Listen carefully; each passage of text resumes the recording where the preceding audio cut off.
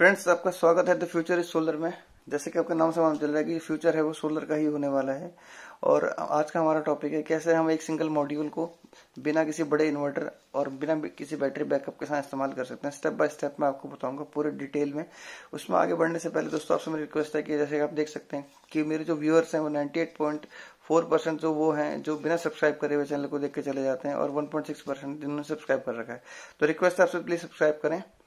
तो दोस्तों, सबसे पहले हम बात करेंगे जो हमारा माउंटिंग स्ट्रक्चर है वो, जो ये दो स्मॉल लेग्स हैं, इनको हम सबसे पहले सेट करेंगे। और इसको सेट करने के लिए, आपको इनको फिक्स करने के लिए किसी, कोई इलेक्ट्रिशियन अथवा किसी टेक्नीशियन और किसी इंजीनियर की ज़रूरत नहीं है। आप घर में खुद सेट कर सकते हैं इसको। ये दो चैनल हैं, जो इन स्ट्रक्चर के जो लेग्स छोटे लेग्स के ऊपर हैं, वो लगेंगे। और इसमें आपको अभी मैं लगा के दिखाऊँगा कि किस तरीके से हम लगा सकते हैं। तो फ्रेंड्स, जैसे कि आपके सामने है ये, अभी हम इसको लगाएँगे। और सबसे इसमें जो मेन जो पॉइंट है, वो ध्यान रखने वाला ये होता है कि जो हम एंगल है, वो कितना रखेंगे। तो दोस्तों एंगल जो होता है, वो हर स्टेट का, हर जो एरिया होता है, वहाँ का अलग रहता है। जैसे कि आप जो लेट लॉन्ग होते हैं लेटीट्यूड के हिसाब से हमारा हर जगह का एंगल होता है। तो यहाँ पर जो हमारा एंगल है, वो 28 डिग्री हमने रखा हुआ है। और इसको हम जो सेट करेंगे, वो 18 डिग्री 18 नंबर की चाबी है, उससे हम इसको फिक्स कर देंगे। तो इसको फिक्स करने के बाद में हम इसके ऊपर अभी पेन लेके आएँगे, जो जो मैं आपसे एंगल की बात कर रहा था एंगल यहाँ पे हमने 28 डिग्री रखा हुआ है, और हर स्टेट का अलग होता है ये हर डिस्ट्रिक्ट का अलग होता है इनफैक्ट अगर आपको इसकी डिटेल चाहिए तो आप मेरे से पूछ सकते हैं। तो दोस्तों, हमारे बात अब आती है बात हमारे एसी मॉड्यूल की। तो इस मॉड्यूल को हम लगाएँगे। कि हम इसको लगाएँगे ईस्ट फेसिंग में, कि जहाँ से हमारा जो सूरज है, वो उगता है। और उसके अलावा जो हम अगला जो सेटिंग करेंगे, वो इसके नट बोल्ट हैं, उसको फिक्स कर देंगे सोलर पैनल को, ताकि जो सोलर पैनल है, वो ही लेना और उसके बाद में जो ये आपको सामने ब्लैक कलर का दिख रहा है, ये माइक्रो इन्वर्टर है, जो सोलर मॉड्यूल के पीछे फिक्स हो जाएगा। और इस इस, इसमें कनेक्शन हमारे पैनल के लगेंगे जैसे कि आप देख सकते हैं कि जो पैनल के नीचे हमने काफ़ी सारे पत्थर वगैरह रख दिए ताकि ये हिले ना। लेकिन अगर इसको फिक्स कर लेंगे तो वो और अच्छा रहेगा। क्योंकि फिक्स करने के बाद में आंधी आएगी, बारिश आएगी तो उसमें ये उड़ेगा नहीं और हमेशा बिल्कुल फिक्स रहेगा। अब बात करते हैं वायरिंग की। जो वायरिंग में जो आपको कनेक्शन है, ये देखिए दो कनेक्शन होते हैं, इसमें एक मेल और एक फीमेल कनेक्टर होता है और इसमें सिर्फ़ मेल में फीमेल फीमेल में मेल ही सॉकेट टाइप का घुसेगा और जो ये है अभी हमारा जो है माइक्रो इन्वर्टर में ये लग जाएगा। ये माइक्रो इन्वर्टर में हमारा जो है इनपुट है डीसी का है, जो हमारे सोलर पैनल से आया है और इससे जो हमारा आउटपुट होगा, वो एसी का होगा।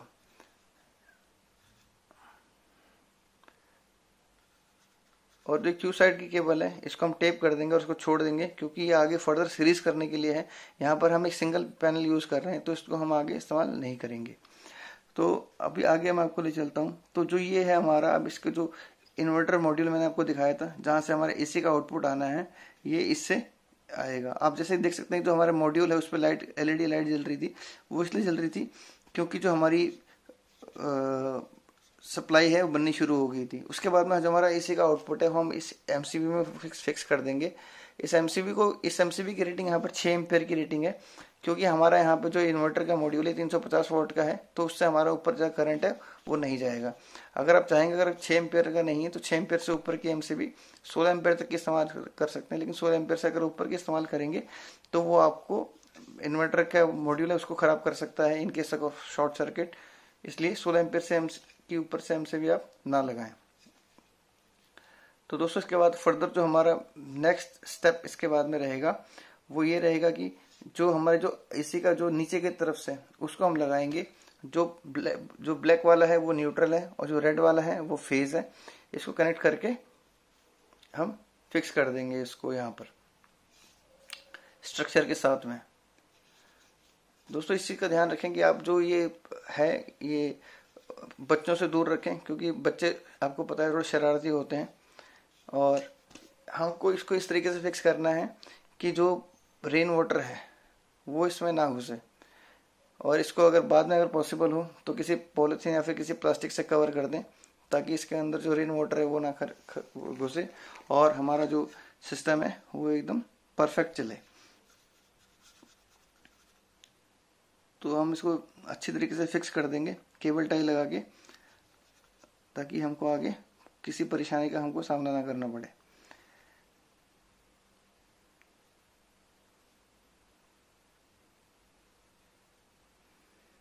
तो दूसरे जैसे आपको मैंने बताया कि जो एम सी बी है छः एम्पियर की है और इससे पहले मैंने आपको बताया था कि इसको इस तरीके से फिक्स कर सकते हैं लेकिन इस, इस ये फिक्स करने के बजाय अगर आप इसकी ग्राउटिंग कर देंगे तो वो बेटर रहेगा। लेकिन सिर्फ़ एक टेम्प्रेरी एक अभी ये एक प्रोटोटाइप है। आपको सिर्फ़ एक डेमोन्स्ट्रेशन देने के लिए दे रखा है। तो उस तरीके से हम लगाएँगे। जो अब हम ये एसी पावर जो एम से निकली है, उसको ले जाएँगे नीचे तक। और एमसीबी हमने इस वक्त ऑफ़ कर रखी है, क्योंकि जो हमारा इन्वर्टर है, उसने स्टार्ट कर दिया है रिमोट करना। सॉरी जनरेट करना। ये हमारा हमारा जो A C D B box है, वो आ गया है, जहाँ पर हम इसको अपना जो सप्लाई है, वो आएगी और उसको हम फिक्स करेंगे। और इसके साथ में हम अपना इन्वर्टर जो है, उसको हम अपने मोबाइल से भी मॉनिटर कर सकते हैं। उसको फर्दर मैं आपको आगे बताऊँगा इस वीडियो में। तो अभी जो है, ये इसको अनबॉक्स करेंगे। अनबॉक्स करने के बाद में जो एमफोर्स का एनवॉय है, ये ये है, इससे इससे हमारा मोबाइल से भी कनेक्ट हो जाता है। और हम इसको रियल टाइम मॉनिटरिंग भी देख सकते हैं। और जहाँ पर हम इसको एक बार इंटरनेट से कनेक्ट कर देंगे वाईफाई से तो उसको हम कर देंगे। अब ये दो एमसीबी लग गई है हमारी। दोस्तों, इसमें एक करंट सीटी है current transformer current transformer current transformer इसलिए है क्योंकि जो हमारा करंट है, वो मेजर करने के लिए कि किस वक्त हमको करंट ये देगा और किस वक्त हमको करंट नहीं चाहिए। इसका डिटेल में एक वीडियो मैंने बना रखा है आपके लिए। उसको आप डिस्क्रिप्शन में जाके देख सकते हैं। ये हम इसको एमसीबी बॉक्स को फिक्स कर रहे हैं। तो दोस्तों, जो मैंने आपको बताया करंट ट्रांसफार्मर का करंट ट्रांसफार्मर का फ़ंक्शन ये है कि अगर करंट ट्रांसफार्मर हमारा लगेगा तो उसमें हम ये देख लेंगे हमारे को किस वक्त ज़रूरत है उसको लगाने की। जब हमारा करंट ज़्यादा फ्लो कर रहा होगा तो ये ज़्यादा जनरेशन करेगा, अगर कम फ्लो कर रहा होगा तो उसको कंट्रोल करेगा, ताकि वो जो सप्लाई है वो रिवर्स ग्रिड में ना जाए।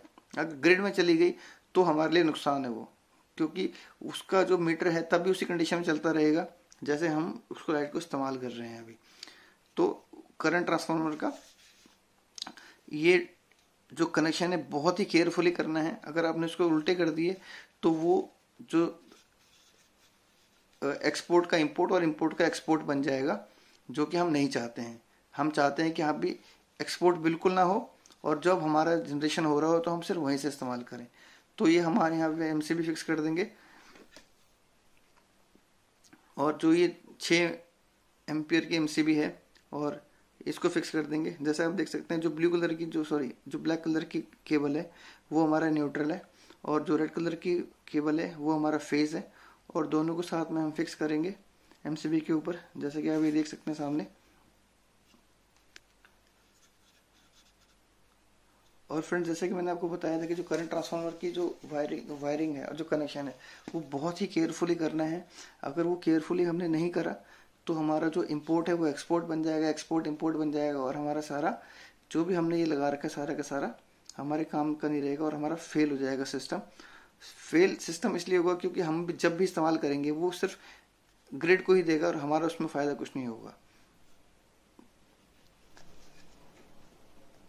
तो दोस्तों, देख, जैसे कि आप देख सकते हैं कि ये भी एम हमने फिक्स कर दिया है। जो राइट साइड वाला है फेस है और जो लेफ़्ट साइड वाला ब्लैक वाला है, वो न्यूट्रल है।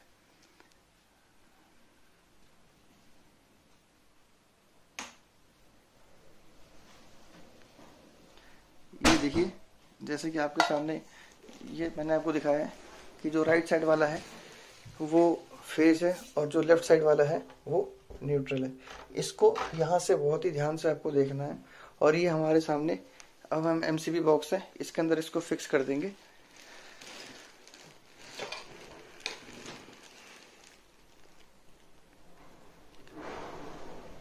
और जो दो हैं, ये लेफ़्ट साइड वाले में लगेंगे। लेफ़्ट में आपका जो है न्यूट्रल लगेगा और राइट में आपका फ़ेज़ लगेगा। इसको हम अभी फिक्स कर देंगे और उसके फिक्स करने के बाद में फर्दर आपको कनेक्शन में बताऊँगा।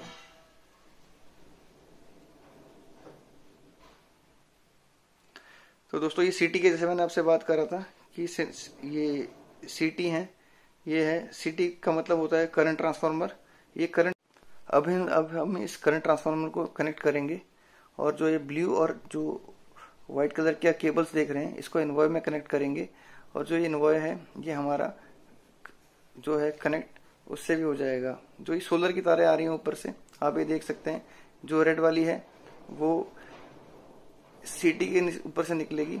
जैसे कि आप ये देख सकते हैं कि एक इसमें इनपुट है, जो एरो के डायरेक्शन में जो रेड वाली तार है, सिर्फ़ वही जाएगी और दूसरी नहीं जाएगी। ये चीज़ आपने बहुत ध्यान से देखनी है कि जो रेड वाली तार है, वही जाएगी रेड के साथ में और जो ब्लैक के साथ में, वो ब्लैक वाली जाएगी। अगर हमने इसकी डायरेक्शन उल्टी कर दी तो ये हमारे लिए फ़ायदेमंद नहीं रहेगा, ये हमको लॉस करेगा। जैसे कि मैं आपको पहले बता चुका इम्पोर्ट और एक्सपोर्ट का हमारा पंगा हो जाएगा। एक्सपोर्ट की जगह इम्पोर्ट हो जाएगा इम्पोर्ट की जगह एक्सपोर्ट हो जाएगा और जो हम इसको लगा रहे हैं वो काम का नहीं रहेगा। ये चीज़ बहुत एक बहुत ही इम्पोर्टेंट है, जो आपको हमेशा ध्यान रखनी है, अगर इस, अगर आप ये लगा रहे हैं तो। उसके बाद में हम अभी ब्लैक वाला लगाएँगे, इस तरीके से नीचे। और ये एमसीबी भी हमारी 6 एम्पियर की है, और जो इसके बगल में एमसीबी है, वो भी हमारी 6 एम्पियर की है। अगर आपके पास 6 एम्पियर की नहीं है, तब आप लगा सकते हैं। यहाँ पे देखिए कि जो ये सिटी है, मैंने आपको पहले भी समझा चुका हूँ, जो जिस तरफ़ डायरेक्शन है, उस तरफ़ आपका रेड वाला ऊपर की तरफ़ जाएगा। अदरवाइज़ ये दिक्कत करेगा और हमारा इम्पोर्ट और एक्सपोर्ट आपस में रिवर्स हो जाएँगे और हमको बहुत दिक्कत करने वाले हैं। तो दोस्तों, फिर अगली हम लगाते हैं इसको कि यहाँ पर हम जहाँ पे फिक्स कर रहे हैं सिटी को।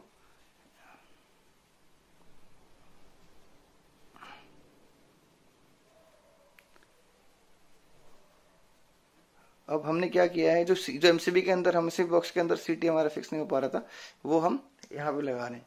तो, तो दो सीटी लगेंगे। जो दू, दू, जो दूसरा सीटी है वो ये देखिए जो है ये टी वन टी टू ये ये इसके बगल वाले पॉइंट में आगे लगेगा।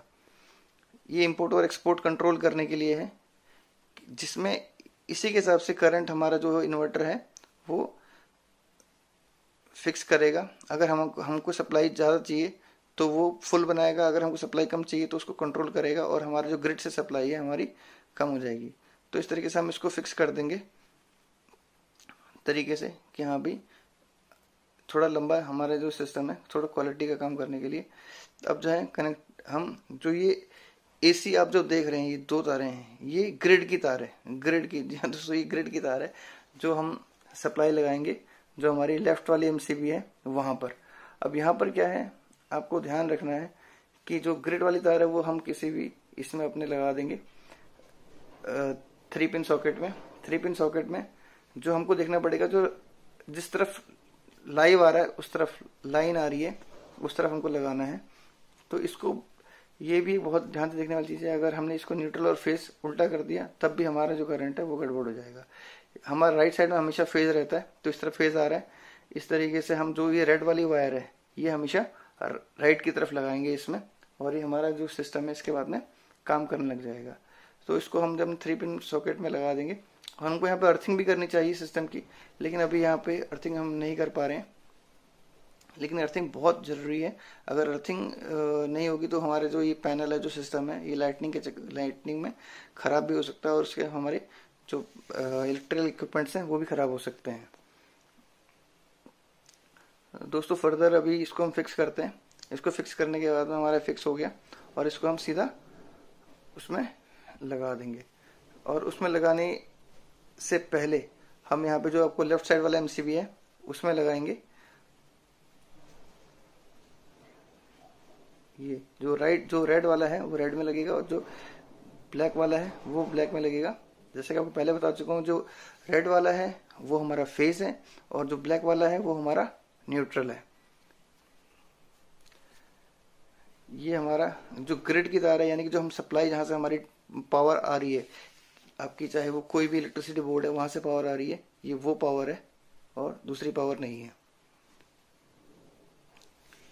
ये हमारा जो पूरा सिस्टम है, पूरे कंप्लीट अब इंस्टॉल हो चुका है। जैसे कि आप देख सकते हैं कि हमने किसी बड़े इन्वर्टर का इस्तेमाल नहीं किया, सिर्फ़ हमने तीन एमसीबी का इस्तेमाल किया है और एक माइक्रो इन्वर्टर का और एक हमारा जो ये एनवायर रिमोट मॉनिटरिंग डिवाइस है, इसका किया है। इसको कनेक्शन को एक बार दोबारा हम कंफर्म कर लेते हैं कि जिस तरीके से जाना चाहिए, वो उस तरीके से है नहीं है। ये हमारा जो सिस्टम है, पूरा लग गया। और अब हम ये सारे कनेक्शन करने के बाद में हमने एमसीबी ऑन कर दिया। अगर रेड लाइट जल रही है तो हमारे कनेक्शन खराब है। अगर ग्रीन जल रही है तो हमारा कनेक्शन सही है। जैसे कि आप देख सकते हैं ग्रीन लाइट जल रही है। अब हम इसको जो रिमोट मॉनिटरिंग है, वो करेंगे। डाउनलोड करेंगे ऐप प्ले स्टोर से। इंस्टॉलर टूल किट जी हाँ ये आप दोस्तों प्ले स्टोर में आपको मिल जाएगा ये। एनवॉय के लिए, सिर्फ़ ये एनवॉय के लिए है और किसी के लिए नहीं है। इसमें आप कंफ्यूज मत होना। ये थोड़ी लोग डिटेल्स हैं।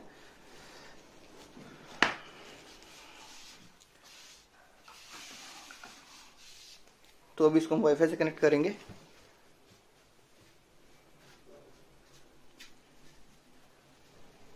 ये इनवॉय का अभी सॉफ्टवेयर अपडेट मांग रहा है।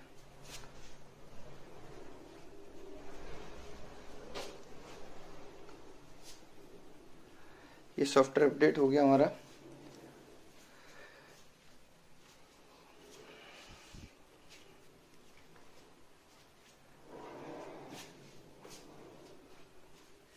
इस तरीके से हमारा पूरा जो है अब हम इसको मॉनिटर कर सकते हैं कि कितनी हमारी बिजली बन रही है, कितना हमारा जनरेशन हो रहा है और हमको इंपोर्ट हो रहा है या एक्सपोर्ट हो रहा है, हम सब ये देख सकते हैं यहाँ पे।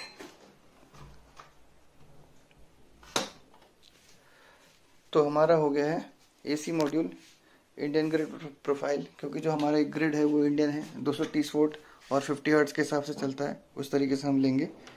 और सिस्टम साइज़ लेंगे, हमारा जो है 350 वोट का पैनल है। और उसके अलावा से जो बाकी जो चीज़ें हैं, वो हम सेट करेंगे।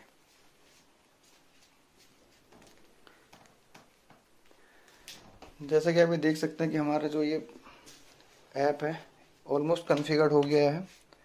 अब उसके बाद हम पूरा देख सकते हैं कि हमारा कितना जनरेशन इस वक्त हो रहा है। अब जो हम हैं, इसको अपने वाईफाई जो है डिवाइस उससे जो नेटवर्क है, उससे कनेक्ट करेंगे। ये हमारा जो वाईफाई है, उससे कनेक्ट हो गया है।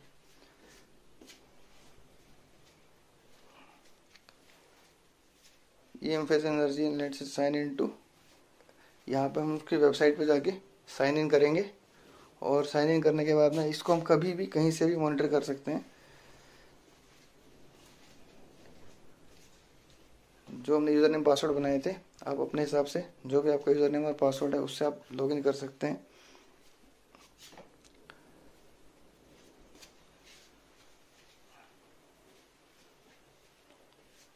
सिस्टम एक्टिव जी हाँ दोस्तों, ये हमारा 72 वोट का है और जो कंजम्पशन है, वो हम देख सकते हैं कि हमारी कंजम्पशन कितनी हो रही है और हमारा प्रोडक्शन कितना हो रहा है। ये देखिए सामने आपके आ गया है बिल्कुल डिटेल में। और इसको हम जब मर्ज़ी चाहें तब देख सकते हैं, क्योंकि अब हमेशा ये इंटरनेट के यहाँ कनेक्ट रहेगा।